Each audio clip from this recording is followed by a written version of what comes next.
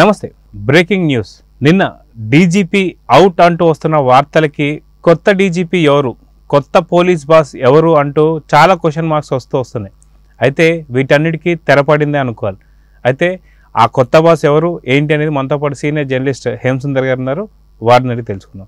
Sir నమస్తే. నమస్తే అండి. సార్ ఎలక్షన్ సందర్భంలో నిజంగా చాలా రకాలైనటువంటి ఒక అరాచకాలు ఎన్నో జరుగుతున్నా సరే ఎలక్షన్ కమిషన్ చర్యలు తీసుకోవట్లేదు అనేటువంటి ఒక కొంత క్వశ్చన్ మార్క్ అయితే ఉంది.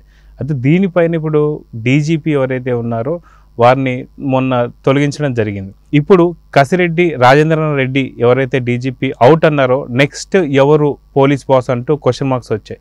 సో దీనికి ఇప్పుడే తెరపడిందని చెప్పి అయితే వార్తలు వస్తున్నాయి. సో మీకు వచ్చిన వార్త ఏంటి? హరీష్ కుమార్ గుప్తాకి డీజీపీగా బాధ్యతలు ఇచ్చారండి. అంటే సాధారణంగా మూడు పేర్లు సిఫార్సు చేయమని చెప్పి సిఎస్ జవహర్ రెడ్డిని ఎన్నికల కమిషన్ ఆదేశించింది. మీరు మూడు పేర్లు సూచించండి మేము సెలెక్ట్ చేయమని చేస్తామని. ఆ మూడు పేర్లలో ద్వారకా తిరుమలరావు హరీష్ కుమార్ గుప్తా ఒక అతను అలాగే మాదిరెడ్డి ప్రతాప్ అని ఇంకో పేరు.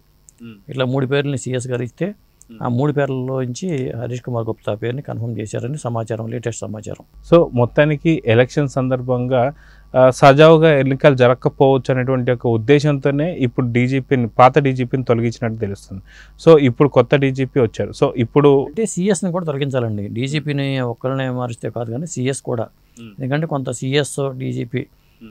నా ఉద్దేశం ఏంటంటే అసలు ఎన్నికలు ఎప్పుడు జరిగినా కానీ చట్టం రావాలి దీనికి.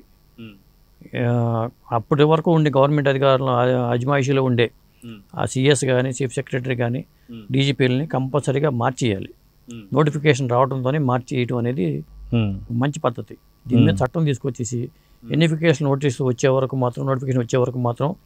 వాళ్ళు ఉంటారు. ఎందుకంటే వాళ్ళు వాళ్ళకి ఇష్టమైన వాళ్ళని పెట్టుకుంటారు కాబట్టి ఎన్నికలు సజావుగా జరగాలంటే వాళ్ళ పెట్టుకున్న అధికారుల వల్ల ఇబ్బందులు ఉంటాయి. కాబట్టి ఇప్పటికే లేట్ అయిందిగా మనకి ఇక్కడ. ఇప్పుడు ఎన్నికలు వారం రోజులు ఉండగా ఇప్పుడు మారిస్తే ఏం లాభం అండి? జరగాల్సిన దారులను జరిగిపోయినాయి కదా. అక్కడ మన బీజేపీ అభ్యర్థి మీద దాడి చేశారు కదా. మరి చాలా సంఘటనలు జరిగినాయి కదా. కాబట్టి ఎందుకంటే పై అధికారితోనే సంబంధాలు ముడిపడి ఉంటాయి కాబట్టి సిఎస్ కానీ డీజీపీని కానీ నోటిఫికేషన్ రావడంతో మార్చేయాలి అసలు. అది దీని మీద చట్టం రావాలి ఎక్కడైనా సరే. ఎందుకంటే ఏ గవర్నమెంట్ అయినా సరే ఇది తటస్థంగా ఉండే వాళ్ళని మాత్రమే ఆ ప్లేస్లో నియమించాలి. ఎందుకంటే ఆ నెల రెండు నెలల్లో ఎన్నికలు అయిపోతాయి కాబట్టి ఆ రెండు నెలల్లో వివాదరహితుల్ని ఎంపిక చేసుకుని వాళ్ళని మాత్రమే పెట్టడం అనేది చాలా మంచి సంప్రదాయం అని అనుకుంటున్నా. ఎందుకంటే పద్దాక వీళ్ళు కంప్లైంట్ చేయడం వాళ్ళు యాక్షన్ తీసుకోకపోవడం ఇది ఇంత జరుగుతూ ఉంటుంది. ఇంత అవసరమా? అసలు దీని మీద ఒక చట్టం వచ్చేసి ఎన్నికల నోటిఫికేషన్ రావడంతోనే వాళ్ళు ముఖ్యమంత్రిగా ఉంటారు. ముఖ్యమంత్రి పదం మనం మాత్రం అనట్లేదు కదా. ఎవరైతే ఉన్నతాధికారులు ఉంటారో ఆ సిఎస్ కానీ డీజీపీ కానీ వాళ్ళని మార్చడం అనేది ఒక మంచి సంప్రదాయం అని నేనైతే అనుకుంటున్నాను అయితే ఇప్పుడు మొత్తానికి డీజీపీ వరకు వెయిట్ అయిపోయింది. ఇప్పుడు నెక్స్ట్ పోలీస్ బాస్ ఎవరో అర్థమైపోయింది. కానీ సిఎస్ పైన వెయిట్ ఎప్పుడు అన్నట్టుగా నిన్నటి నుంచి క్వశ్చన్ మార్క్స్ అయితే పడుతున్నాయి. నేను అనుకోవడం అది కూడా ఇవాళ రేపట్లో అది కూడా వార్తలు వచ్చేస్తాయండి. ఎందుకంటే నిన్న అమిత్ షా రాగానే బహుశా మరి ఏం జరిగిందో ఏంటో కానీ ధర్మవరం మీటింగ్ జరిగిన తర్వాత చంద్రబాబు నాయుడు గారితో ఉన్న సమస్యల మీద వాటి మీద చర్చించుకున్న వాటి సందర్భంగా ఏమన్నా మా సందర్భం జరిగిందో లేదో తెలియదు కానీ మొత్తానికి ఆయన వచ్చి వెళ్ళారు కాబట్టి వెంటనే జరిగింది కాబట్టి కొంత అమిత్ షా ప్రభావం అనుకుంటున్నాం.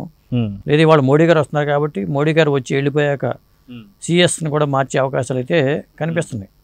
ఎందుకంటే ఎన్నికలు జరగాలి కాబట్టి ఇప్పటికీ ఆ ప్రశాంతంగా ఇప్పటి వరకు మాత్రం చాలా వరకు ప్రశాంతంగా జరిగినట్టు ఇప్పటిదాకా.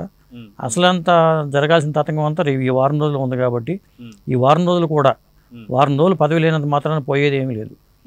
కాబట్టి సిఎస్ జవహర్ రెడ్డి గారిని కూడా మార్చేయడం అనేది మంచి పద్ధతి. అయితే సిఎస్ జవహర్ రెడ్డిపై చాలా రకాలైనటువంటి కంప్లైంట్స్ ఉన్నాయి.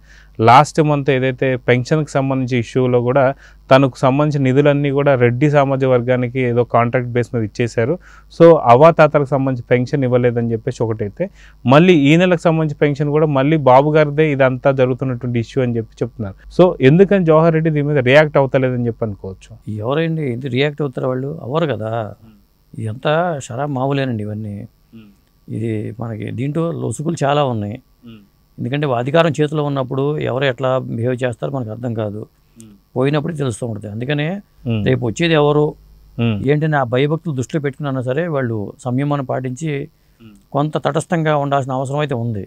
కానీ ఉండట్లా మరి కారణం ఏదైనా కానీ మనం చెప్పలేము. సో చూద్దాం సార్ మొత్తానికి మీరు అన్నట్టు డీజీపీ లాస్ట్ అయితే కసిరెడ్డి వెళ్ళిపోయిన తర్వాత మళ్ళీ ఇప్పుడు కొత్త డీజీపీని అయితే పెట్టారు.